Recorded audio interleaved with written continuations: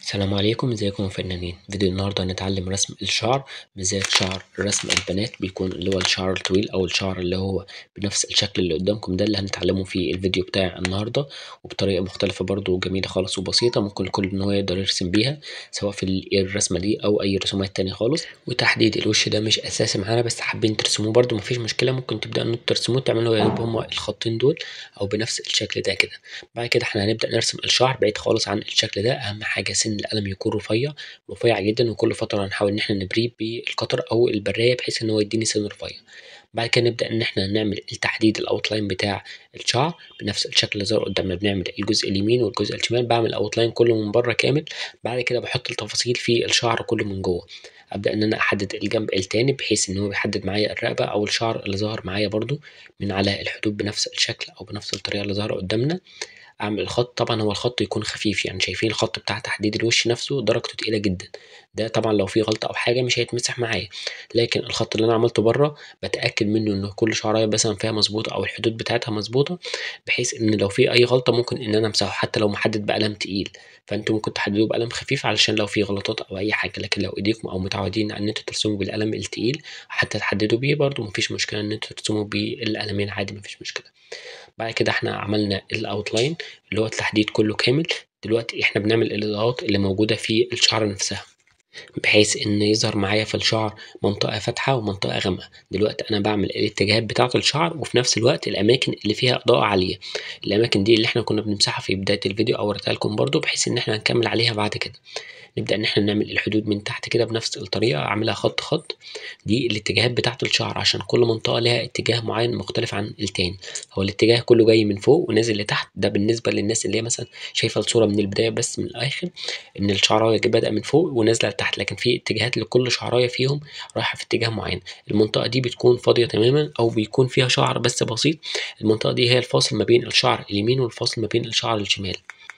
وعلشان أجيب بداية الشعرايه تكون رفيعة جدا بنفس الشكل اللي ظهر قدامكم ده ببدأ إن أنا أعملها بالراحة أجيب من الآخر للأول من الآخر للأول بحيث إن بداية الشعرايه يكون رفيع معايا وسن القلم لازم يكون رفيع أعمل الجزء ده بعد كده أبدأ إن أنا أكمل الجزء اللي تحت. أكمل فيها شعراية شعراية كده وعلى مالي خالص. ممكن إن إحنا نلف السكتش طبعا على الحاجة اللي تريحكم مش شرط هو ثابت كده الإيد اللي تريحكم أو الشكل اللي ظهر معاكم كويس ممكن إن أنتوا ترسموا بيه. كده خلاص نعتبر الجزء اليمين بحيث اللي هو الشعر الصغير. بعد كده أبدأ آخد بقى من الشعراية نفسها أو من آخر الشعراية. مفيش مشكلة طبعا. جت معايا رفيعة جت معايا تخينة مفيش مشكلة. بس الشعراية نفسها تكون رفيعة. بتكلم على البداية بتاعتها لأنها بتكمل الشعراية اللي موجودة فوق. أبدأ إن أنا أعملها شعراية شعراية كده.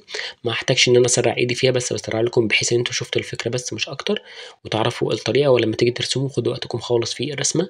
الرسمة دي خدت مني حوالي تلت ساعة فأنتوا ممكن تاخدوا راحتكم أكتر في الصورة نفسها. ببدأ إن أنا أعمل حوالين الحدود بتاعة الإضاءة يعني الشعر يكون خفيف مثلا في المنطقة اللي هي فيها إضاءة أو اللي أنا محددها أماكن الإضاءة عشان كده كانت مهمة وقلت لكم إن أنتوا تركزوا عليها. بعد كده أبدأ إن أنا أحط درجات خفيفة في النص ما بينهم لكن على الحدود تكون درجة تقيلة بنفس الشكل كده بعملها شعراية شعراية كل الاتجاهات نازلة لتحت. لحد دلوقتي الاتجاهات كلها جاية من فوق نازلة لتحت بس هي داخلة بس بزاوية حاجة بسيطة. باختلاف طبعا الشعر اللي هيكون موجود تحت في شعر يمين في شعر شمال. على حسب كل اتجاه الشعرايه ماشية فيه ببدأ إن أنا أرسم عليها بنفس الطريقة. والأماكن اللي هي حوالين الحدود بتاعة الاضاءه أعملها تقيلة جدا أبدأ إن أنا أتقل عليها واحدة واحدة أمشي عليها درجة تقيلة جدا وأخلي بالي من الجزئية دي بحيث إن أنا ما أدخلش في أماكن الاضاءه في الاضاءه بس تكون درجات خفيفة. الشكل ده إحنا هنسيحه بعد كده برضو بحيث إن هو يدينا درجة نعومة عالية. أبدأ أكملها شعرايه شعرايه وما أدخلش في أماكن الإضاءة. هو ممكن ياخد مننا بس وقت شوية وأنتوا بترسموه بس خدوا راحتكم خالص في الرسمة بحيث إن هي بتجمل لكم الرسمة أو بتكمل لكم الجمال بتاع الرسمة لو بترسموا بورتريه كامل. حتى كمان لو رسمتوا الصورة دي ممكن تختبروا نفسكم إن أنتوا تحطوا الملامح على الصورة نفسها بحيث تحطوا العين مثلا الأنف الشفايف الجزء اللي هو موجود على الصورة وتكملوها من دماغكم بحيث كتدريب لكم أكتر يعني. وتبعتوها على رابط التليجرام أبدأ إن أنا لكم لو فيها أي أخطاء. أو لو محتاجين في أي رسمة تاني ممكن تبعتوها على رابط التليجرام أسيبه لكم في وصف الفيديو. نبدأ إن إحنا نكملها شعرايه شعرايه كده. هي هتكمل معايا في الآخر بس هنا بقى عملت الاتجاه يعني داخل بشكل دائري شوية. يعني اتجاه يمين في اتجاه شمال بنفس الشكل كده. أقول شعرايه أهم حاجة تكون طويلة وكل شوية ببر القلم. يعني هو مظهر قدامكم هنا بس أنا ببر القلم بحيث إن هو يديني السن الرفيع اللي أنا أرسم بيه. ولو رسمناه بالبراية أو إن إحنا عملناه بالشكل ده كده إن إحنا نبري سن القلم يكون رفيع جدا هو كويس بس هيخلص معانا القلم بسرعة والشعر طبعا بياخد في القلم كتير فممكن تبروه بالقطر يكون أفضل وبحيث كمان تعملوا السن اللي انت عايزينه ما تضغطوش على سن القلم لو السن طويل بحيث إن هو هيتكسر منكم كل ما تضغطوا عليه أكتر. نكمل الجزء ده ويعتبر الجزء اليمين معظمه خلص فاضل بس فيه التسييح أو التضليل وإن إحنا نمسح فيه برضو زي ما شفنا في بداية الفيديو. نبدأ إن إحنا نكملها بنفس الشكل كده. كمل عليها واحدة واحدة بتقل على الأماكن اللي هي تقلت معايا أو اللي هي حسيت إن هي قربت من الأماكن بتاعة الإضاءة بحيث إن هو يديني درجة تقيلة. بعد كده أجيب فرشة أبدأ إن أنا أسيح بيها على الشعر كله. هي مش هتديني التأثير الكبير قوي بس هتسيح معايا حاجات بسيطة بحيث إن هي تملأ الفراغات اللي موجودة وسط الشعر أو اللي هي واخدة اللون الأبيض شوية. إحنا هنحتاج اللون الأبيض بعد كده بس وإحنا بنمسح بيه بحيث إن هو يفتح لنا الشعر أكتر. جبت قلم تظليل أبدأ إن أنا أسيح بيه على الأماكن التقيلة والأماكن الخفيفة بحيث إن هو يديني درجة يعني اللي هي أتقل من الفرشة بحيث إن الفرشة مش هتعطيني الواقعية اللي موجودة في الصورة فأبدأ إن أنا أعملها بقلم التظليل. قلم التظليل ده عامل لكم فيديو على القناة إزاي تعملوه في البيت لو أنتم مش عارفين إن أنتوا تجيبوه من أي مكتبة. لكن هو بيكون رخيص وموجود في جميع المكتبات يعني أو المكتبات الكبيرة عموما اسمه قلم تظليل أو قلم تسييح عبارة عن ورق ملفوف. أبدأ أعمل الجزء الثاني زي الجزء الأول. بدأت عملت بداية الشعر بيكون رفيع جدا وأبدأ إن أنا أوصل الجنب التاني شعراية شعراية بنفس الطريقة بس الاتجاه هنا عكس الاتجاه التاني يعني هنا كنت بنزله ناحية اليمين هنا ناحية الشمال ممكن تلفوا السكتش زي ما قلت لكم ده طبعا هيريحكم أحلى أحسن بكتير بحيث إن أنتوا إيدكم ما تسيحش الرسمة ولا تعمل أي بصمات موجودة عليها. وفي كل ده ما دخلتش في أماكن الإضاءة اللي هي موجودة في الصورة. يعني أنا بعمل على الحدود بس مش أكتر وأماكن الإضاءة هعمل لها برده شعر بس يكون أخف شوية.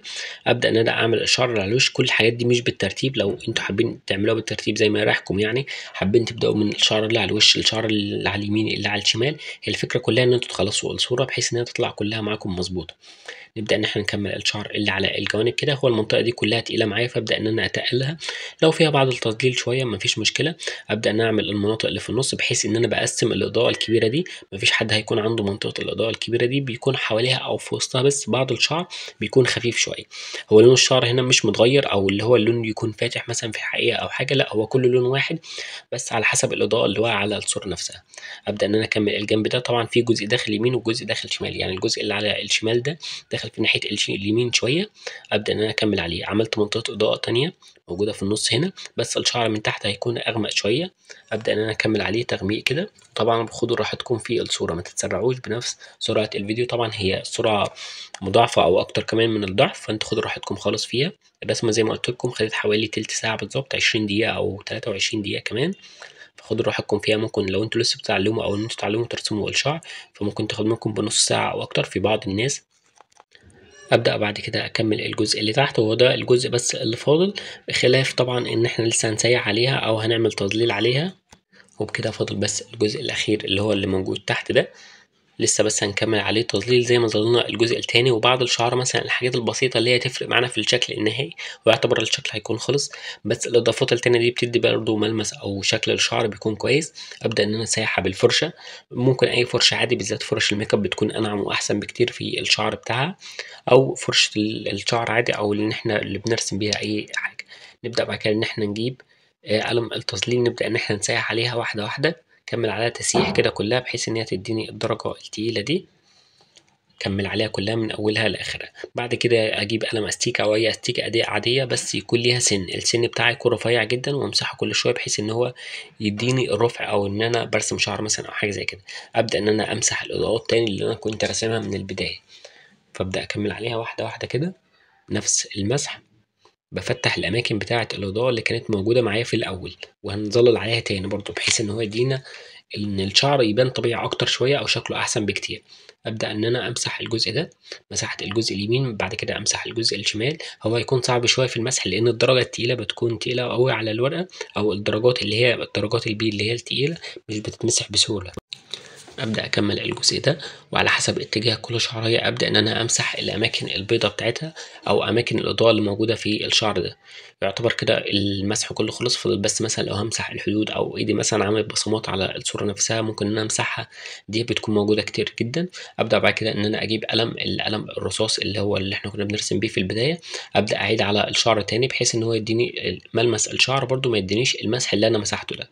بحيث إن هو يبان شعر وفي نفس الوقت منطقة فاتحة. أبدأ إن أنا أكمل عليه تظليل أكمل عليه تظليل للآخر كده واحدة واحدة. لحد الجزء اللي موجود فوق أكمل عليه تظليل برضو أرسم الشعر وزي ما كنا بنرسم الشعر في البداية. أهم حاجة سن القلم يكون رفيع بالذات في المنطقة بتاعة الإضاءة اللي هي الفاتحة لأن الشعراية هنا هتبان حتى لو حجمها تخين أو حاجة لأ هتبان معايا في الصورة دي. أبدأ أكمل الجزء الأخير برضو. هي دي طبعا هتكون أسهل بكتير من اللي إحنا كنا بنرسمه في الأول بحيث إن إحنا كنا بنظلل بس مش أكتر يعني. بعيد خالص عن رسم الشعر إن إحنا نجيب درجة تقيلة وندوس على القلم فكان بياخد مننا وقت شوية. فاضل بس بعض الشعر مثلا لو عملنا على الحدود شوية جزء شعر خارج كده بحيث إن الشعر يبان معايا طبيعي أكتر. بعملها من على جميع الحدود وهي حاجة عشوائية يعني مش مش شرط حاجة ثابتة إن إحنا نعملها لكن هو الشعر خلص أصلا يعني مفيش فيه أي مشكلة. مننساش طبعا الإمضاء اللي بتكون موجودة على كل صورة.